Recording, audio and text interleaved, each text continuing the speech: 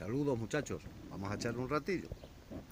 Bueno, hoy vamos a hablar de la calanchoe, en especial de esta, que es la calanchoe daigremontiana. Bueno, ese es su nombre, digamos, ya sabéis, científico. Luego, pues, uno de sus nombres, por ejemplo, vulgares, es calanchoe mexicana. Ya sabéis que estos de los nombres vulgares, pues en cada lugar se les llama de una manera. Eh, estas plantas, esta familia de plantas, sobre todo, bueno, se conocen tres o cuatro más que las, digamos, más que las demás, entre ellas esta es una. Es una planta que está dando unos resultados impresionantes, increíbles en la lucha natural contra el cáncer. Sobre todo, digamos, las investigaciones que hay en laboratorios, principalmente con animales y demás, ya digo que están dando unos resultados excelentes en la lucha natural, por ejemplo, contra el cáncer. Se está descubriendo que es un excelente regenerador celular, o sea, regenera, va bien para regenerar tejidos dañados por tumores, por ejemplo, incluso heridas gangrenadas, o sea, es una planta que en ese aspecto, en la regeneración de tejidos, está dando unos resultados, ya digo, increíbles para todo tipo de infecciones, para todo tipo de heridas, quemaduras, también antiinflamatorio, cicatrizante, o sea, para todos estos tipos de temas está dando unos resultados, ya digo, excelentes, increíbles. Eh, por ejemplo, también es una planta que es un antidepresivo natural, por llamarlo de alguna manera. O sea, eh, nos ayuda, digamos, en muchas afecciones, por ejemplo, eh, de, este tipo, eh, como pueden ser esquizofrenia, eh, distintas crisis nerviosas, psicológicas y demás. O sea, es como ya digo, es un, un antidepresivo natural. También nos ayuda, por ejemplo, en afecciones como la hipertensión, también va bien incluso para reumas y todo este tipo de dolores, para cólicos renales, para diarreas, o sea, es una planta que nos, nos ayuda para muchísimas afecciones. Y ya digo, la forma de consumirla es fácil porque principalmente pues sus hojas, estas hojas, las podéis, digamos, tomar desde tal cual en ensalada, hacer distintos zumos, infusiones y demás, ya sabéis. Las cantidades recomendadas de esta planta, bueno, tomando para según qué afecciones, ya digo, 3-4 hojas de estas no es dañino, aunque ya a un nivel, por ejemplo, eh, los datos que hay dicen que a partir de 5 gramos por kilo de peso, o sea, una persona, por ejemplo, que pese 100 kilos, eh, necesitaría 500 mm, gramos de planta para que fuera tóxico para ella. Es, digamos, un ejemplo. Eh, ya digo que esta planta... Mm, al margen de que es beneficiosa, pues eh, si la tomamos, como siempre os digo, no hay sin veneno, si ya la tomamos en demasía, pues es una planta tóxica. Además, eh, por ejemplo, para mujeres embarazadas o incluso para personas que tengan cualquier enfermedad cardíaca, no es recomendable esta planta. Siempre eh, consultar, digamos, con un especialista, con un médico, no viene mal. En cualquier, bueno, en cualquier toma de cualquier planta, ya digo, Cualquier planta tomada en su justa medida es beneficiosa, ya lo decía el Paracelso, no hay sin veneno y eso. Si no la tomas en su justa medida, pues puede ser perjudicial. Al margen de, bueno, todas estas, digamos, todos estos beneficios que tiene, pues podemos ver que esta planta se puede consumir, ya digo, de una forma fácil.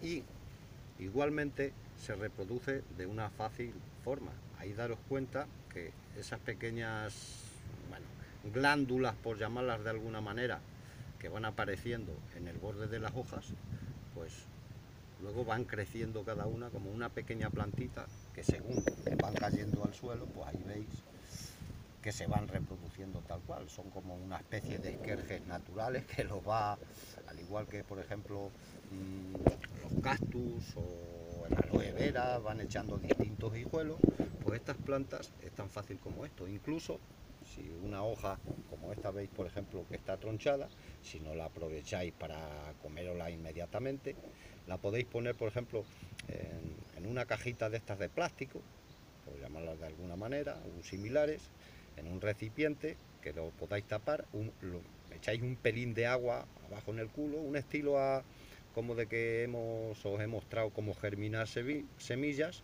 pues podéis poner un pelín de agua para que tenga una poca humedad, ya digo, tapáis la, la caja y con esa poca humedad, la misma hoja, aunque ya no está pegada a la planta, va a seguir haciendo, digamos, eh, la misma operación.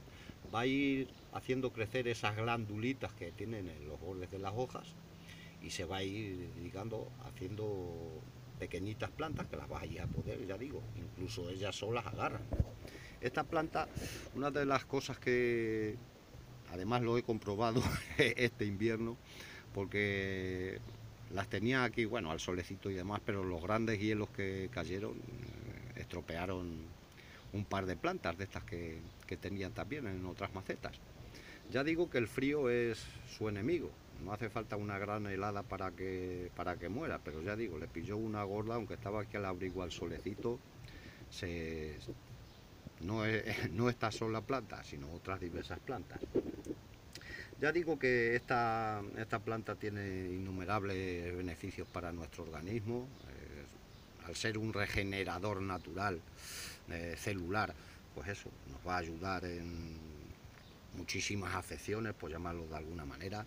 Se pueden hacer también con sus hojas, por ejemplo, para aplicarla exteriormente, para heridas y demás, pues se puede aplicar haciendo como un emplasto, o sea, os he mostrado por ahí, o sea, coger unas hojas, machacarlas, hacer como una especie de pasta y esa misma pasta pues ponerla, ya os digo, exteriormente os va a valer para cualquier tipo de heridas, infecciones, quemaduras, eh, es antiinflamatorio, incluso para eso, para dolores, reumas, artritis, historias de estas también nos va a ir bien, y luego pues eso, la forma de consumirlo para tratar diversas afecciones, como os digo, para que ayude a personas que tengan cualquier proceso cancerígeno, heridas gangrenadas y demás, pues os va a venir eh, de lujo, ya digo. Eh, no hay, no es que todo esto de las plantas medicinales sea una cosa que, te cura de la noche a la mañana cualquier afección, pero sí que, bueno, es una ayuda luego según las personas también influye la fe, y quizá hacer como eso, como las curanderas siempre decían de que ibas a que te apañase cualquier tirón, cualquier historia.